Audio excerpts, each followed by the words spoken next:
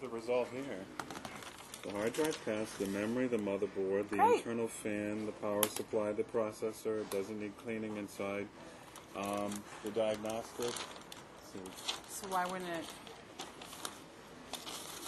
they didn't. They didn't put any notes about that. I can plug it in and see, but The battery should still be working. I mean, I just brought the adapter. just Uh, like all right. I can try it. Yeah, the diagnostic. They don't do any repairs. They just find out if something's wrong. So unless there was something that immediately showed up.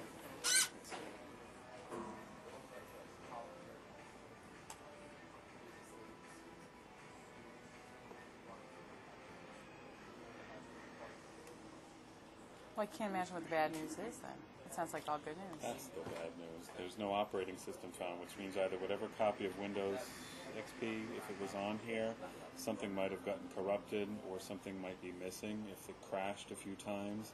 It didn't that crash. It just won't turn on. Like it went. It was turned off, and then it just like it, It needs hasn't. to be restored.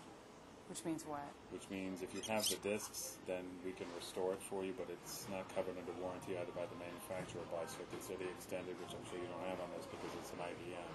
Um, it's 129 to restore the computer, but you need to bring in the discs for it. We could bring it back to the factory standards, but you would lose everything that's on there for data. Any like Word files, Excel files, emails,